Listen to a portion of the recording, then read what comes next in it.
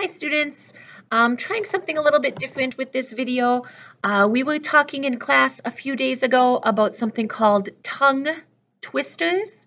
Tongue, my tongue, and the word twist meaning turn, flip, um, spin, tongue twisters. Something that makes my tongue turn and twist.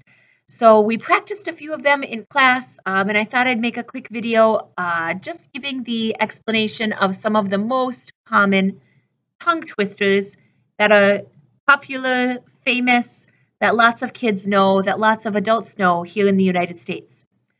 I would love, I would love to hear some of the tongue twisters in your home language. Um, and I'm trying to figure out a way that you could record and send me a response I might have that figured out in the next few days. So keep an eye out for this so that I can also hear back your tongue twisters from your home language or share them with us in class. Love it. I would love to hear it if you have one to share in class.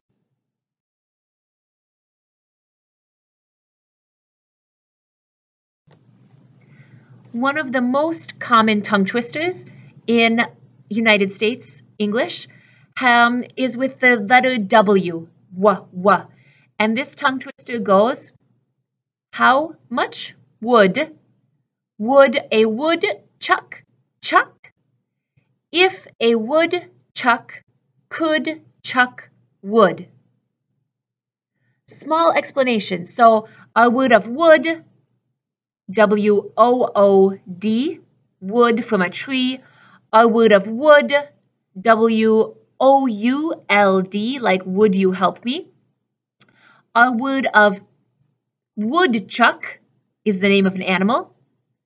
And then our word chuck is a very informal way to say throw.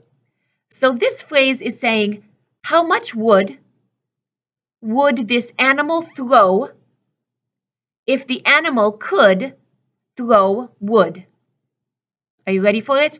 I'm going to go pretty fast and then I'll have the text written on the screen so that you can follow along. How much wood? How much wood would a woodchuck chuck if a woodchuck could chuck wood? How much wood would a woodchuck chuck if a woodchuck could chuck wood? A little bit faster. How much wood would a woodchuck chuck if a woodchuck could chuck wood? Ah! And then there's a response. And the response is maybe less common, but still famous, still pretty popular. And again, I'll try to put the text across the bottom. A woodchuck, woodchuck, as much wood as the woodchuck could chuck. Fast forward. A woodchuck, woodchuck, as much wood as woodchuck could chuck.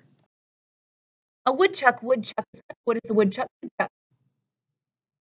Really, really fast, these two pieces, a question and the answer. How much wood would a woodchuck chuck if a woodchuck could chuck wood?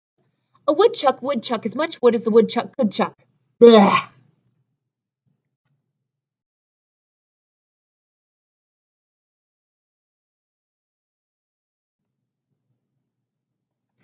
All right. Um, I hope you enjoy that one a lot. That's one of the most common, I think, in the United States. That's one of the most famous. Um, children practice it back and forth, back and forth, back and forth.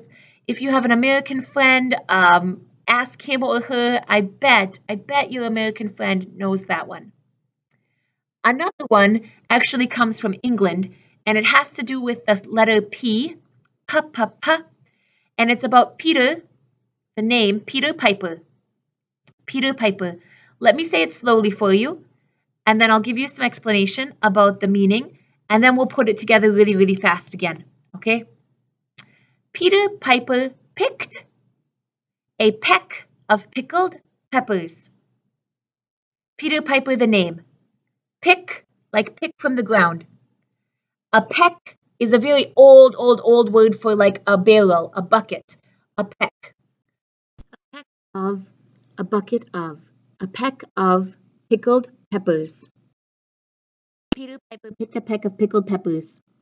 Peter Piper picked a peck of pickled peppers. And then we have again, kind of like a question and response. If Peter Piper picked a peck of pickled peppers, how many peppers did Peter Piper pick? Blah, blah, blah. Peter Piper picked a peck of pickled peppers. If Peter Piper picked a peck of pickled peppers, How many peppers did Peter Piper pick? Hmm.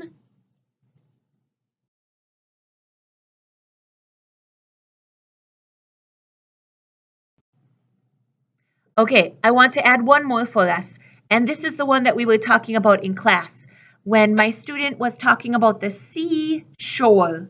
The seashore. I said, ah, that reminds me of this tongue twister. Very, very common, very famous.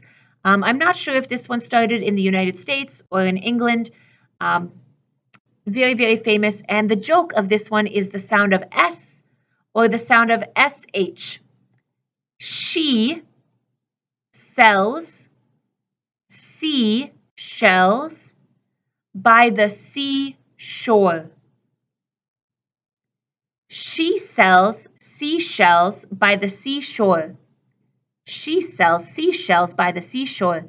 She sells seashells by the seashore. See, she says, and pretty soon your S and SH are mixed up. She sells seashells by the seashore. She sells seashells by the seashore. She sells seashells by the seashore. She sells seashells by the seashore. Ah!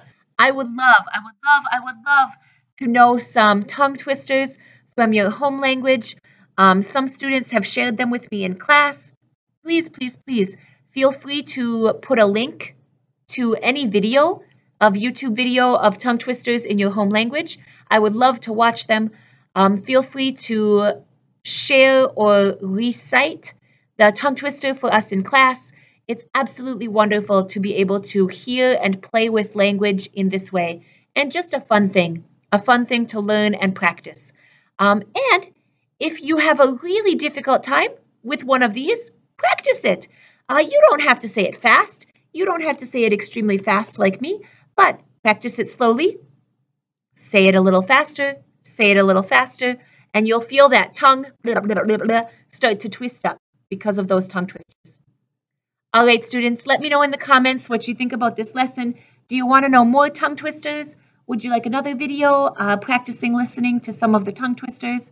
Until next time, bye.